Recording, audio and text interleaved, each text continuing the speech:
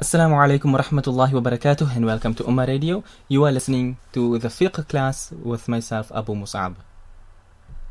Alright, so we are still busy with, busy with the kitab known as Nurul Idah of Imam Ash-Shurunbulali rahimahullah and we're doing a an additional second class for this week for the purpose of completing the chapter of Sawm before the month of Ramadan reaches us.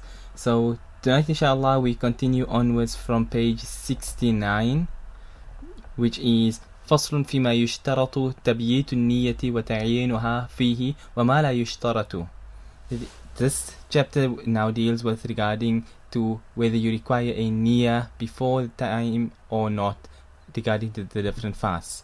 So then to begin, Bismillah walhamdulillah wa salatu wa salamu ala rasulillah wa ala alihi wa sahbihi wa man wala.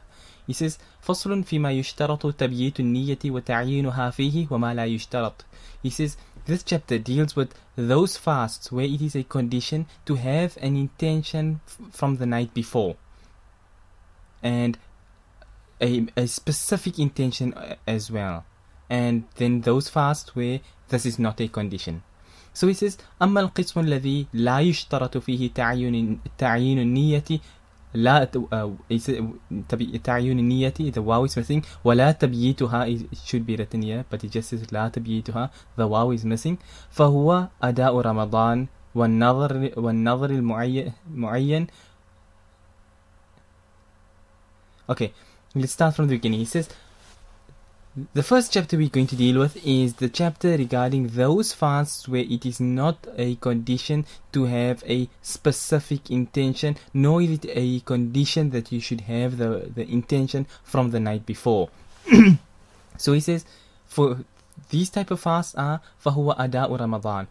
Before, uh, fasting for the month of Ramadan itself in, on its proper time, then you do not require to have an intention from the night before. Now, I touched on this point previously when I mentioned that there's some ikhtilaf amongst the ulama, uh, I, amongst the within the Hanbali madhab. I do not know if the, it is the fatwa, but I do know that it is a view within the Hanbali madhab that if you do not make an intention from the night before, then you do not, then your fast is invalid. So, as far as the Hanafi madhab is concerned, it is not a condition that you have to make your intention the night before. So uh, this chapter here is saying you firstly you don't have to make it prior when we say the night before meaning prior to dawn before subh sadiq when at the time of fajr enters. So the regular suhoor time and everything is all fine for you to make your intention. The issue comes now after the time of fajr enters. Can you still make your intention now or not, provided, of course, that you have not eaten anything. And this is what we are dealing with over here. So, as far as the Hanafi madhab is concerned, Imam Ash-Shurunbulali rahimahullah here mentions his opinion, he says that for the month of Ramadan, when you are fulfilling it in its proper time, then you do not you do not need to make your intention. You should make your intention. It's the correct way to make your intention from the night before. But if you did not make your intention, it, you will still be permitted to make your intention after the time of Fajr has entered. That is basically what he is telling you over here. The second is وَالنَّظْرِ الْمُعَيَّنُ زَمَانَهُ He says that you ha- the second type of fast where you do not require this or rather where this is not a condition is when you have taken a nazar you ta- you've taken this vow that you will fast on a this particular specific day. Maybe you say, I will fast on the 5th of May, for example. It's now a vow, it's a specific thing, it's set out in things. So on this, if it so happen that on the 5th of May, it comes along now, now you fast, then the, if after the time of Fajr has entered, you make your intention now, then it will be valid.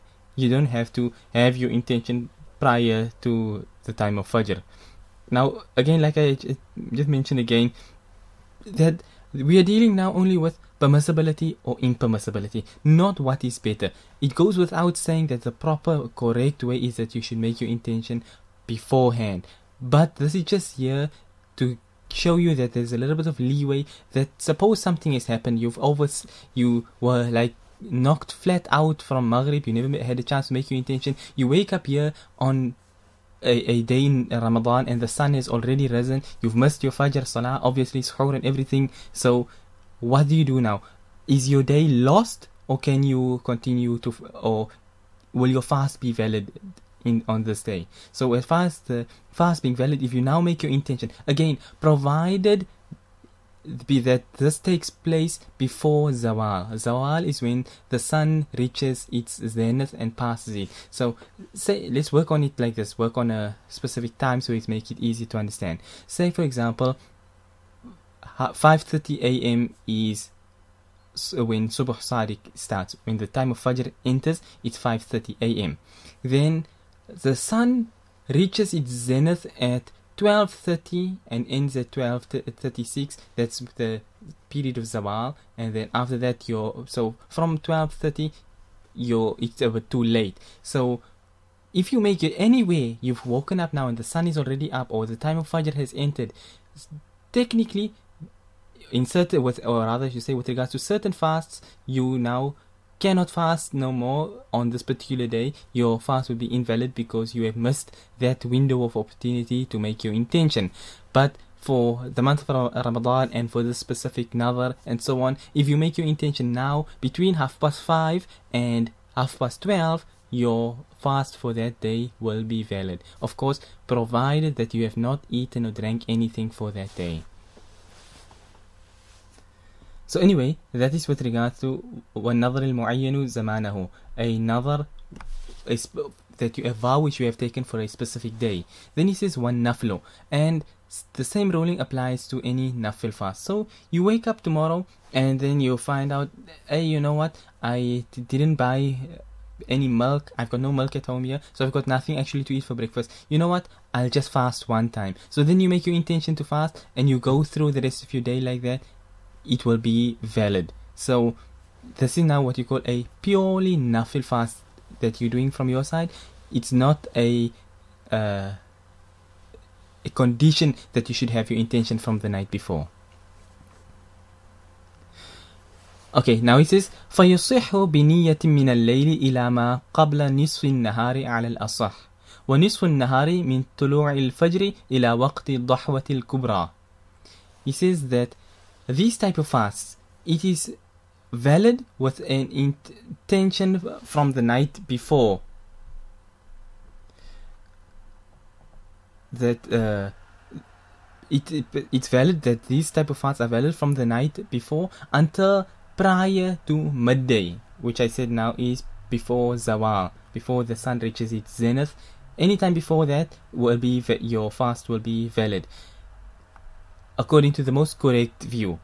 And then he says that uh, one is what is midday nisf nahar that he's referring to here. He says it is من طلوع الفجر إلى وقت الضحوة الكبرى that when we talk about the after the time of Fajr has already ended, entered. So technically this proper window of opportunity of making the intention is now gone. So he says that this time, this extended period is now from the time in Tulu al Fajr, from the time when Fajr enters, until the time waqti dahwat al kubra, meaning the when the sun reaches eh, at its zenith.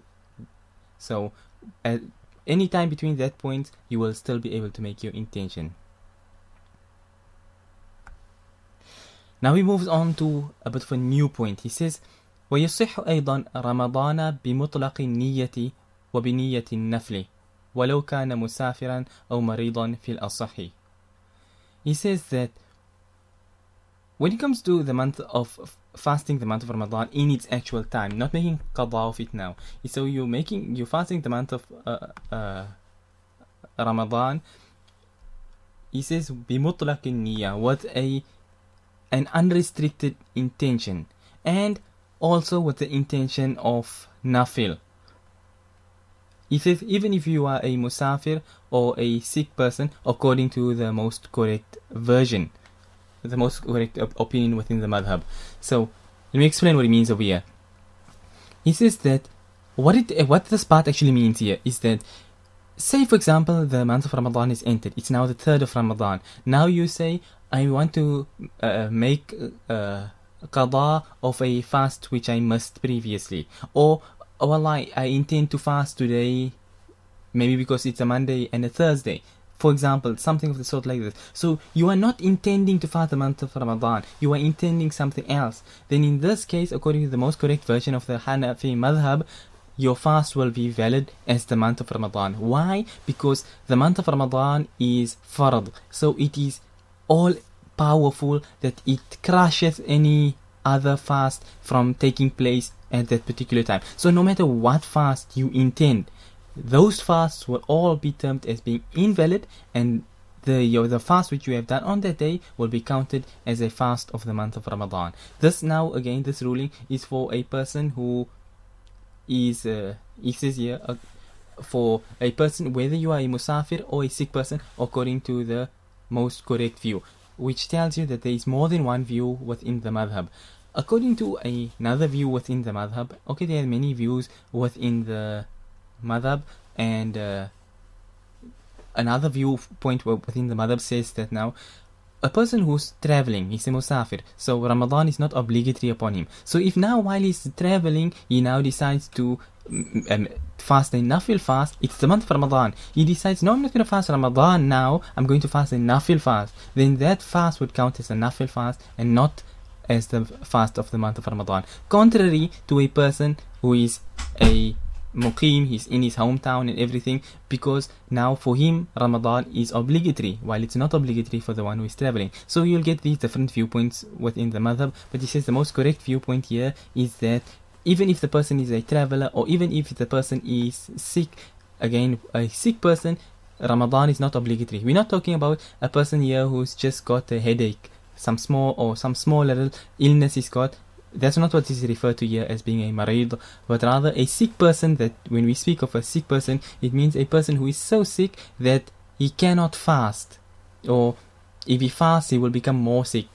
A, a, a real sickness, basically. Not some let, small little thing you prick your finger, now I'm sick, I can't fast today. Not that sort of stuff.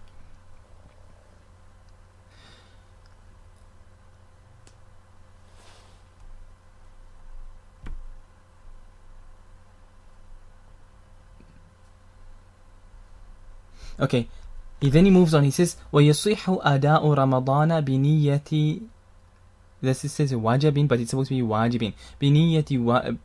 بنية واجب آخر لمن كان صحيحا مقيما بخلاف المسافر فإنه يقع Okay, let me just stop on this point and just deal with this one here. He says that ويصح أداء رمضان بنية واجبة بنية واجب آخر لمن كان صحيحا مقيما he says that a person who in, who's fasting the month of Ramadan now within its time it's the, the, actual month of Ramadan and he is healthy and he is a muqim meaning it's his place he's not on he's not on a journey or anything of the sort like this then if he fasts he makes an intention for some other wajib fast whatever other wajib fast like we've just passed by now if he makes a nafil intention or he makes this or that, whatever the case may be, all intentions will fall away and the month of Ramadan, that fast which he has fasted, will be counted as a fast of the month of Ramadan. And if he had fasted some wajib fast which he was supposed to do, he will have to redo that one, but this fast which he had done here will count as Ramadan. He says, بخلاف المسافر فإنه يقع عما نواه من الواجب. He says, now a bit of a different opinion comes in here that when it comes to a musafir, like I mentioned now, a musafir, Ramadan is not obligatory upon him. So, in the case of a musafir, when a musafir makes an intention for a wajib fast, not a nafil fast, for a wajib fast, because if you saw here, the previous topic we just touched on is if a person, a musafir makes with a nafil intention. So now we're dealing with when he makes for with a wajib intention. So at this state of his being a musafir, Ramadan is not obligatory upon him. And this wajib fast which he's got is also something which is not obligatory immediately at that particular time. So he has the ability to make the uh, wajib fast at another stage in time and likewise he the sharia has given him the permission to fall in this day of ramadan which he has missed due to him being on a journey so both days hold equal amount of power over him. Therefore, if a musafir now he makes an intention that oh Allah I intend to fall in this day. Let's say, for example, he was fasting the 10th of Muharram and then he, he, he got sick and he had to break his fast. Now it's wajib for him to repeat the fast. So this is a wajib fast. So now during the month of Ramadan, he intends, he's now on a journey and he intends, oh Allah, I intend to fulfill or rather to make qada of that particular fast of the 10th of Muharram that I must. Then in this case, his fast would be valid as fulfilling that must fast from the 10th of, uh, of Muharram and it will not be counted as a fast of Ramadan. If you can understand the difference between the two, in the previous case, Ramadan is something which is all powerful, so a nafil cannot stand on the same footing with it. But in this case here, on a person who's a musafir, where neither of the two are obligatory immediately at that particular time, but both are powerful ones, farad and wajib.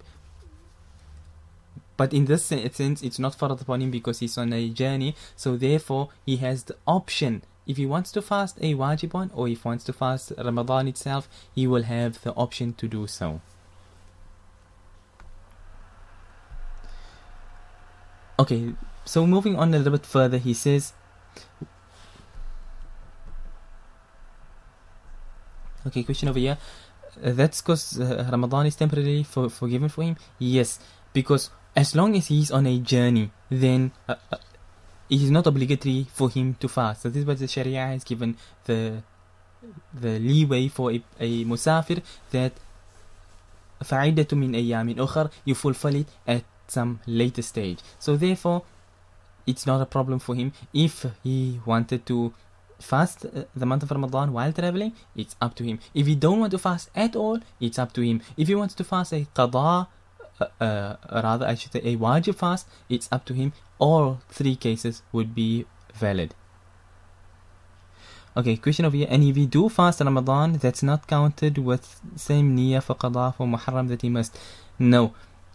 A qada for Muharram this year is a wajib. One thing you can't do is join two wajib actions or two farad actions. You can join any number of nafil actions. Now, if you remember, uh, we were speaking about previously about you do one action with many intentions and Allah will reward you for all those intentions.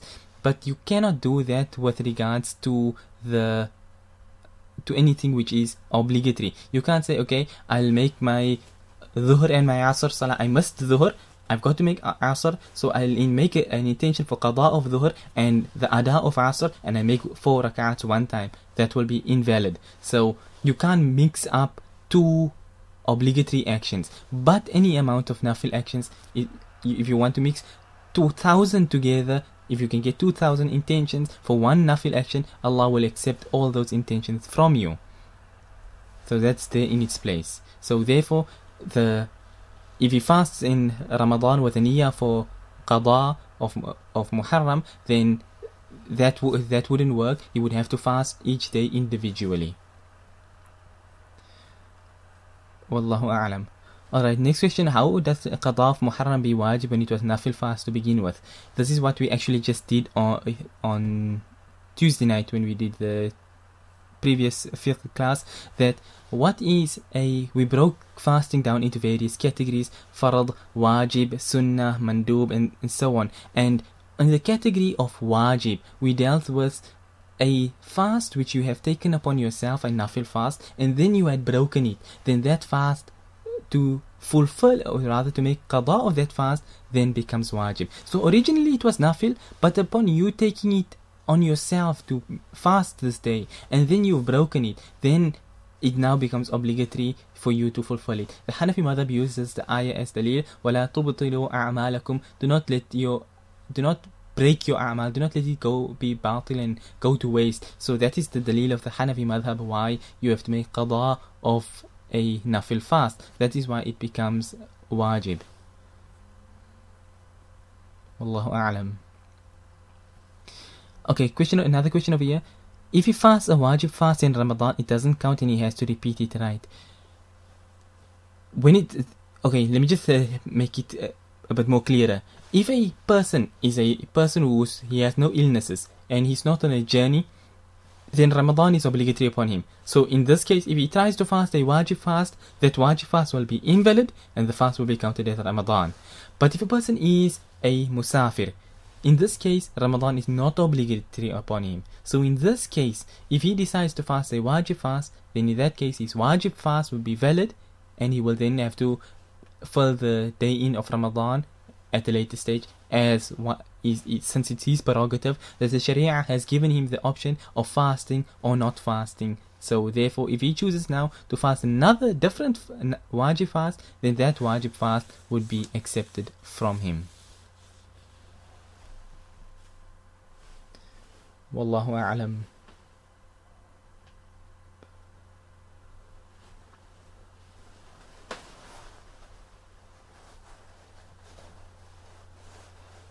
Okay, now he moves on to an, another point over here. He says that واختلف الترجيح في المريض إذا نوى واجبا آخر في رمضان. He says that the ulama of the Hanafi madhab now at least, they have ikhtilaf regarding a person who is sick if he intends some other wajib fast during the month of Ramadan. So if you notice the one which we just previously passed by, it only mentioned a traveler. It never mentioned a sick person. So now we're dealing with if a person is sick. Generally, a person who's sick to such a degree that fasting is no longer obligatory upon him, then he should supposedly be in the same category as the musafir because Ramadan is also not obligatory upon that person. But the ulama have a different difference of opinion with regards to him.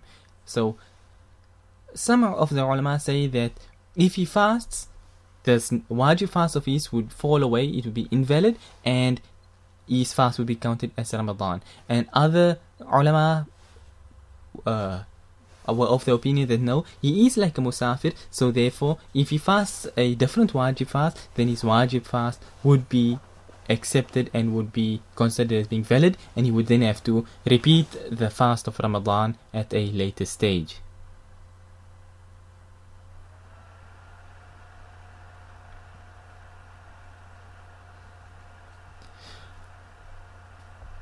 Okay, but uh, in any case, that's on that point over there. The fatwa, which is generally given, is that the musafir, yes, it's a valid ikhtilaf within the madhab. You have people, great people, Imam uh, uh, As-Sarakhsi, rahimahullah, mentioning the, holding the opposite opinion that the, if he makes a, a intention for a qada fast, then the qada would fall away and it would be considered as being uh, Ramadan.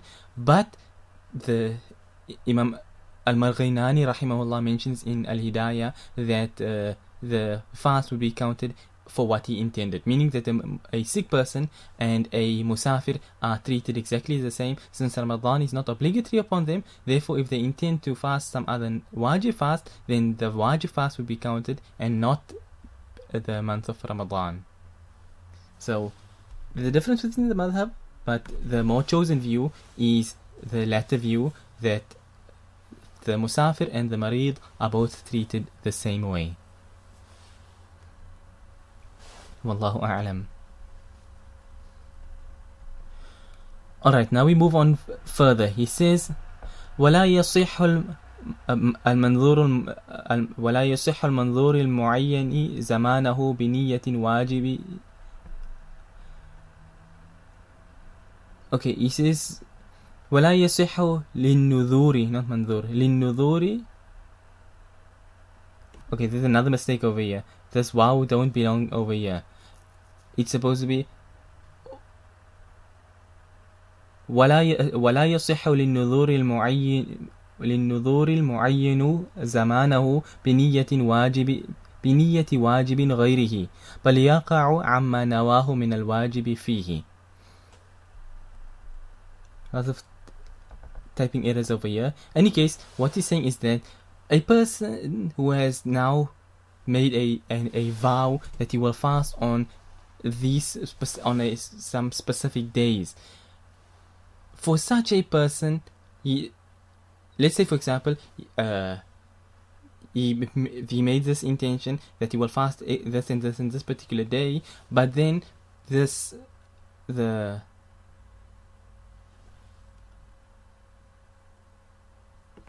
this day it comes okay let's work with the day- 5th of may as we mentioned uh, previously. So he made this vow that oh allah i will fast.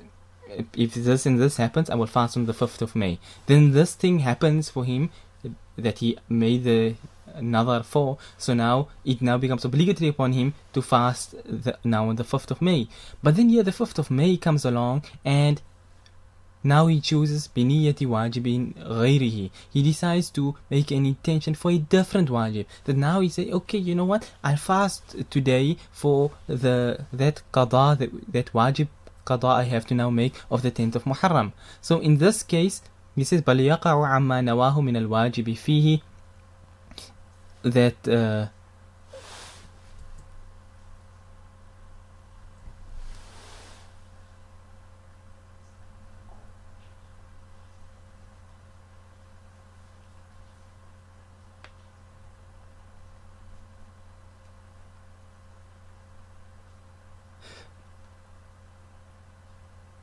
Okay, so basically what he's saying over here is that April, you've now taken this vow that you will fast on this particular day, but then this particular day comes along and you you now make an intention to fast the qada which you have missed of the 10th of Muharram. So in this case here, the qada which you intended of the 10th of Muharram, that uh, that intention will be valid.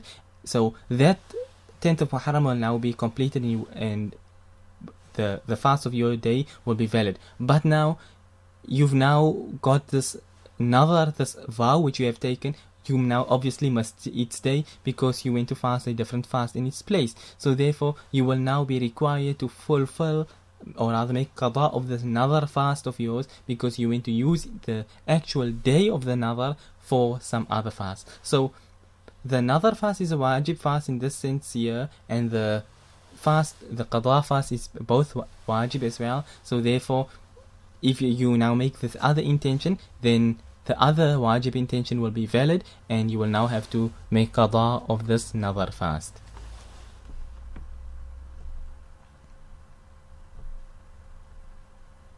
Yes, all of this is based merely on the intention. Your intention governs everything. That's why innamal a'malu bin niyat that your intentions your actions are judged according to your intentions. So, as far as the action is concerned, you are fasting. Now, whether you are fasting Ramadan, whether you're fasting kafara, whether you're fasting a nadar, whether you're fasting a qada, whatever the case may be, the action all look exactly the same. But the intention is what makes it different from one another. If you perform Dhuhr and Asr and Isha Salah, all four of them look the same, but your intention obviously will differ. Okay, only difference is that with the Isha Salah, if it's performed in Jama'ah, then it will be read loudly. But other than that, uh, if you take like Dhuhr and Asr, the two of them are performed identical to one another, but the intention is what differs them from one another.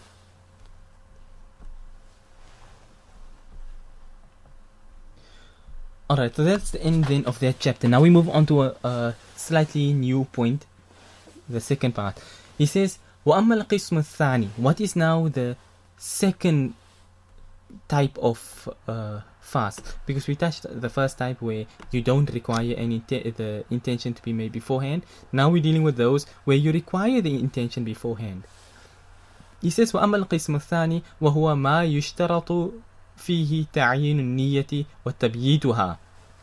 He says this is now those where it is a condition that you should have the intention, a specific intention, and also have the intention before the time that Fajr sets in. He says فهو قضاء رمضان. He says the first type is the qada of Ramadan. So during Ramadan, for Ramadan itself, if you wake up in the morning and you missed your Fajr Salah, then you make your intention. Uh, you know, you the time of Fajr has already entered. so you must suhoor and everything. You never made your intention the night before. So in this case here, you wake up, you make your intention, and you fast throughout the day. But when it comes now to fulfilling a qada of Ramadan, so let's say for example you were sick in Ramadan, so you must out five days. Now you've got five days which you have to fulfill. Now you happen to wake up one morning and like I say, you see, okay, I've got no food in the house today. You know what? I'll make up uh, the this qada which I've got of Ramadan. This will not be valid. Why? Because the it, does is now qada and it's not ada. It's not performed in its time, it's now a repeat at a later stage. So in this case here, you require this intention to be made prior to the time of subuh sadiq.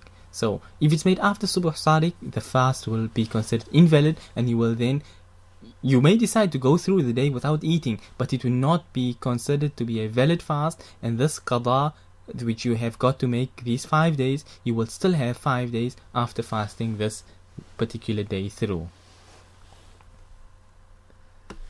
So that's firstly the qada of Ramadan. He says, وَقَضَاءُ مَا أَفْسَدَهُ مِن نَفْلٍ Again, looks like uh, min naqlin, but it's min naflin.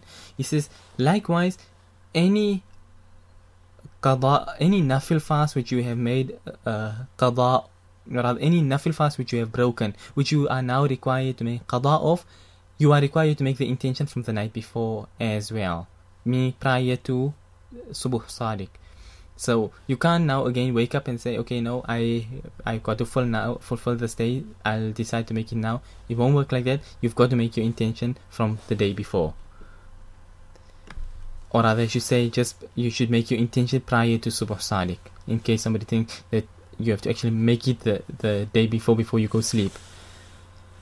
In any case, he moves on further. He says, وَصَوْمُ الْكَفَّارَاتِ بِأَنْوَاعِهَا والمنظور المطلق كقوله okay let me leave the manzur. He says likewise also if you are fasting any you've got any kafara.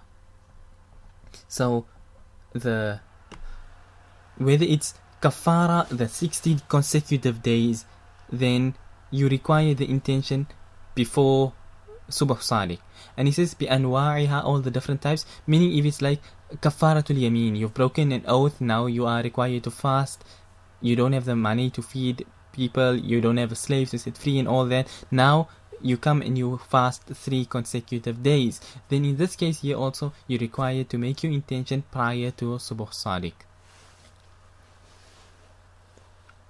the last one he says والنظر المطلق كقوله إن شفى الله مريضي فعلي صوم يوم فحصل الشفاء he says likewise if you take an if you take this vow a an unrestricted vow by saying if Allah cures this illness of mine then it is obligatory upon me to fast a day and then he he gets cured. Meaning that if he makes this intention let's say for example you make it you take this another that oh Allah if you if you cure my cancer I will fast a day if your cancer is cured, it becomes obligatory for you to fast a day. But if your cancer does not get cured, it will not become obligatory upon you to fast that day. That's the important point to note over there that it only becomes ob- obligatory once the condition you have put down becomes fulfilled. So once like this in this case you made that your cancer be cured. Only once your cancer is cured will this fast now become obligatory upon you. That's why he says فَحَصَّلَ shifa that the shifa, the cure has taken place, you have now been healed. Now in this case, it now becomes obligatory for you to fast. So a uh, if you now want to fulfill a fast of this sort, then you are required to make your intention also prior to Subuh Sadiq.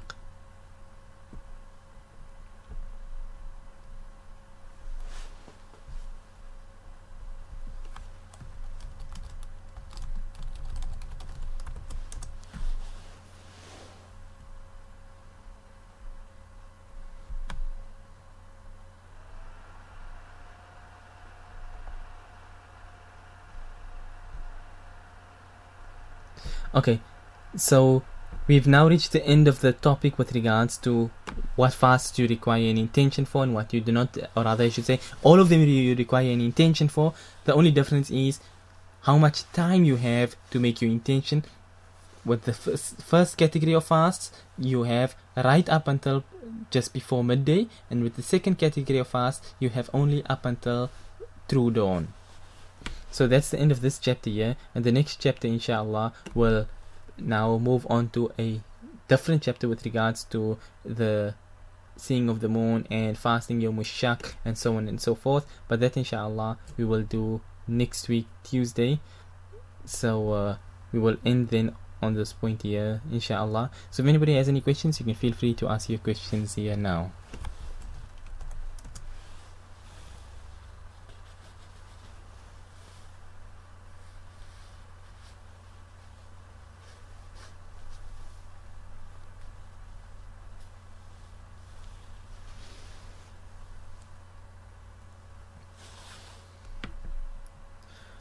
Alright then, seeing as we have no questions, then inshallah we will end on this point here for tonight.